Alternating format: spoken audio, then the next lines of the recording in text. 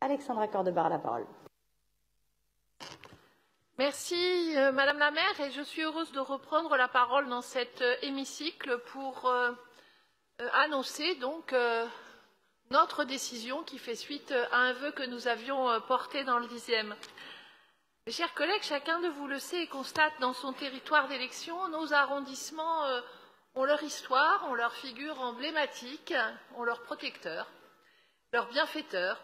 Et assurément, euh, Claude Gérard Marcus, euh, pour le dixième, euh, fut l'un d'eux, lui qui nous a quittés il y a maintenant bientôt deux ans, fut l'un des pères du dixième que nous connaissons, du dixième moderne, celui d'aujourd'hui. C'était, vous le disiez, chers collègues, un homme de conviction, d'écoute, j'en témoigne également, et de transmission. La vie de Claude Gérard Marcus, c'est d'abord celle d'un enfant juif pris dans la tourmente d'une guerre mondiale et des, persécutions raciales. À Nice, euh, où il vivait alors avec sa famille, il réchappe aux grandes rafles de 1942. Et dans cette ville de la zone sud, où les Italiens ont un temps euh, freiné euh, l'application des lois raciales de Vichy, il ne tardera pas à connaître, à partir de l'automne 43, la brutalité de l'occupation allemande. Je crois que cette part de sa vie, il ne l'oublia jamais.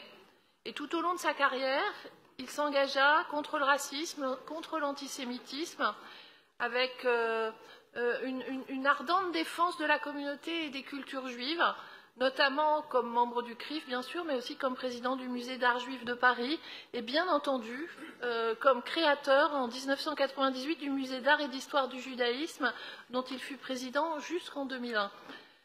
Fervent gaulliste, vous le disiez, dès ses 14 ans, délégué national des jeunes du RPF euh, au début des années 50, Claude Gérard Marcus fut un élu de terrain, un homme dévoué à sa ville et à son arrondissement d'élection. Je le vois encore euh, marcher dans les rues du 10e avec cette démarche euh, un peu lente euh, et balancée qui le faisait reconnaître de loin.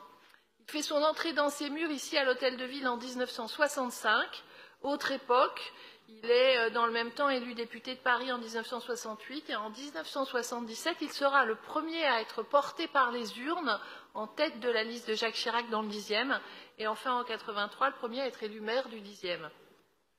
Tout au long de sa carrière au service de cet arrondissement et de ses habitants, euh, Claude Gérard Marcus a œuvré à transformer ce territoire et à le préserver.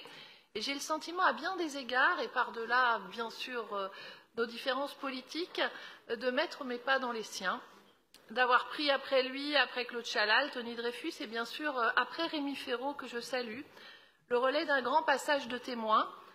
Claude Gérard Marcus était le premier maire élu du 10e, et nous assumons aujourd'hui résolument de rééquilibrer les pouvoirs en faveur euh, du local, de l'arrondissement. Il fut le défenseur d'un canal qui aurait pu devenir une autoroute et je souhaite aujourd'hui euh, apaiser ce trésor de notre arrondissement et mieux le partager avec toutes et tous. Il fut un des pères du jardin Villemain et nous voulons aujourd'hui euh, agrandir ce poumon du dixième. Il a été un des précurseurs au plan de la mixité sociale dans le quartier de la Grange-Aubel en même temps qu'un acteur de la préservation de nos établissements culturels, notamment euh, avec le Théâtre des Bouffes du Nord. Et aujourd'hui encore, nous sommes guidés par ces mêmes objectifs. Madame la maire, mes chers collègues, au nom de tous les élus du dixième, je suis aujourd'hui très heureuse de rendre hommage au travail de l'élu et de saluer la mémoire de l'homme. Et très bientôt, ce belvédère, il n'y avait pas encore de belvédère dans le dixième, en voilà un, le belvédère Claude Gérard Marcus inscrira euh, ce nom important de l'histoire de Paris dans notre espace public, donc au-dessus du canal, à l'angle de la rue Lafayette et du boulevard de la Villette, et qui, euh, euh, comme ça, pourra regarder ce canal qui lui doit tant. Je vous remercie. Merci à vous.